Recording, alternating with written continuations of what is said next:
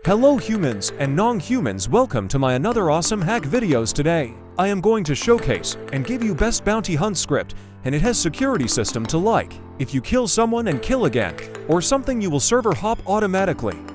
Why it hops server because they can't report you and can't get banned low chance of getting banned. Before we start the video do subscribe and turn on notification bell and share to everyone. It will help them and help you in future, so subscribe and share. Now let's get started. If you want this bounty hunt script then link in description.